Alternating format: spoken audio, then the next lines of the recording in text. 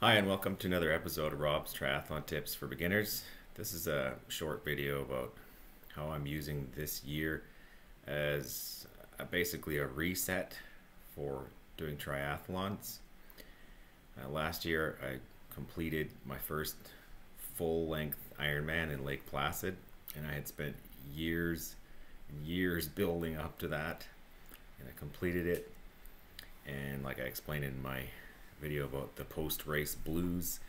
I've kind of felt down since then, and I don't feel as though I want to just like kill myself training a lot this year. So, my approach to this year is to um, do a couple sprint triathlons, is the decision that I've come to. Excuse me. And I'm going to do uh, a tiny sprint triathlon in a small town in June and see where my fitness is at and then um, make some improvements to my training and then do a more serious uh, triathlon called the America's Cup in Edmonton in August, at the end of August. Um, and I was lucky enough to get a spot to that. Uh, this year there's no ITU, WTS, or, or PTO races in Edmonton and uh, they've they've made this race as a kind of trial for a different course than we've had before in Edmonton, and this race will include a river swim, which is something I've never done before. So that'll be a great learning experience because there are several um, half Ironmans and Ironmans where they are a river swim, such as uh, Ironman California and Sacramento, for example. So that'll be uh, cool to try out. So that's my race plan. Um, just trying to get myself back to enjoying doing triathlons, to have that love for them again. In terms of my training right now, where I'm at is is very basic. Um, I'm always maintaining my fitness throughout the year. I don't really have any complete down times per se.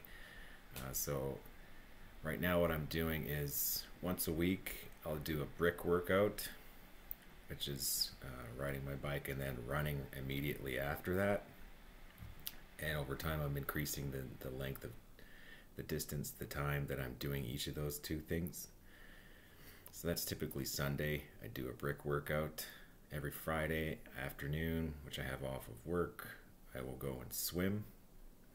And then the rest of the week, I do two strength workouts I do upper body one day, lower body another. And then every other day of the week, I do yoga, which can be a combination of you know, stretching and uh, strength as well. So that's my my basic workout plan for now that I'll follow leading up to the first sprint triathlon that I do in June. And then my plan from there is to start doing some more sophisticated workouts. Maybe adding one more run a week that is a is a like a speed workout. Uh, you can do that in Zwift. There's lots of those workouts. It's really fun to do. It tells you when to speed up and how much and for how long.